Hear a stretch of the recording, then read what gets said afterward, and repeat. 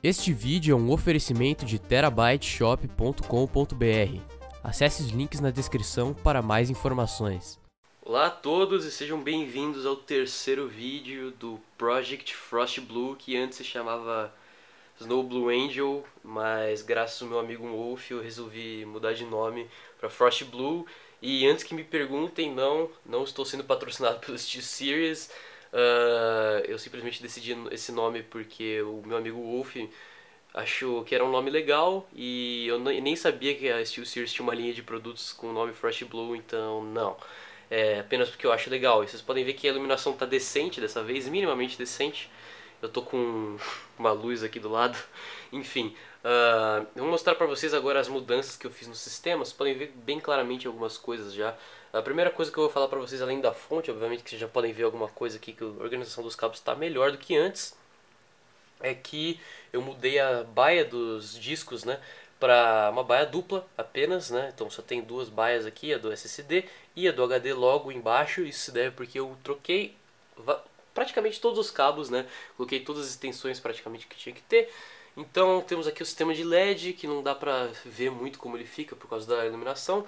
E temos aqui os cabos sleeved, né? Deixa eu focar um pouquinho melhor, acho que assim tá melhor, né? Acho que assim tá bom agora. Enfim, os cabos sleeved da NZXT. É, muita gente pergunta onde que eu comprei esses cabos. Eu comprei lá fora, gente. Eu não comprei aqui no Brasil. É, to, praticamente todos esses cabos não vieram no Brasil porque é praticamente impossível achar. Uh, aqui o cabo de, de força da placa-mãe, 24 pinos. Sleeved também, cabo SATA sleeved cabo da CPU sleeved. É, enfim, ficou muito mais clean a build dessa forma. Deixa eu focar de novo aqui. Então, ficou muito mais bonita e clean agora a build. Quase não tem nenhum cabo aparecendo. Uh, o esquema de cor ficou bem do jeito que eu queria.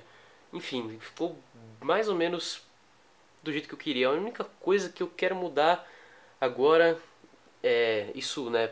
Por estética, não por performance, porque meu processador é, é, não é desbloqueado, né? Que é o 2600, não é o 2600K, ou qualquer outro processador da linha K.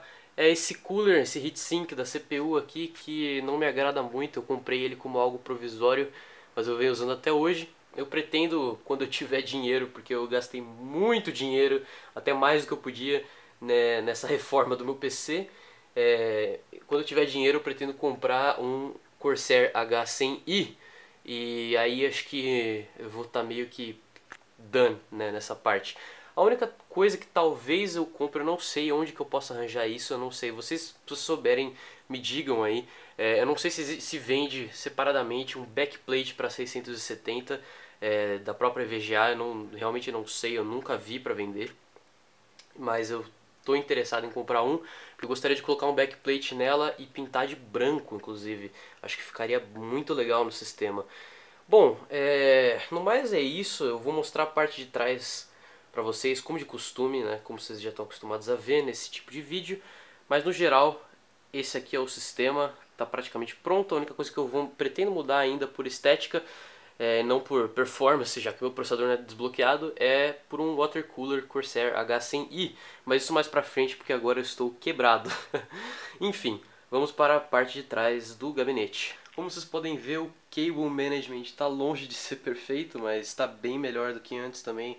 Eu fui um pouco mais cuidadoso dessa vez, mas ainda tá meio bagunçado no geral. Uh, tem algumas pessoas que ficariam meio loucas com as coisas que eu fiz aqui, tipo isso aqui, não tá alinhado. Quem tem toque com certeza ia ficar meio doido com isso. Mas no geral tá bem melhor do que antes, graças às extensões, mesmo com os cabos mais longos da fonte. Aqui você pode ver que ficou um pouco melhor. Uh, ficou um pouco mais camuflado, né?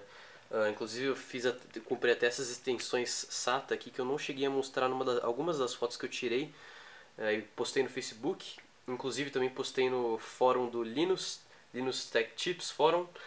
É, mas enfim, no geral é isso aí. Dá uma olhada aí no Cable Management, vou mostrar mais alguns closes para vocês. Aqui o cabo de 24 pinos. Veja só, veja só, veja só. Toda a organização dos cabos aqui. Aqui são os cabos PCI Express, é, de força PCI Express, aqui o cabo da, do processador, né? Os cabos do gabinete, todos os fãs aqui. Cabos SATA de força também. Enfim, basicamente isso. Tá, dá pra dizer que tá quase pronto, né? A única coisa que falta mudar mesmo é só o cooler. E, bom, agora vou deixar vocês de novo com alguns shots do gabinete. Beleza? Então é isso, pessoal. Nos vemos talvez numa próxima update daqui a alguns meses. que eu não sei quando que eu vou conseguir pagar tudo isso, mas beleza. Valeu e até a próxima.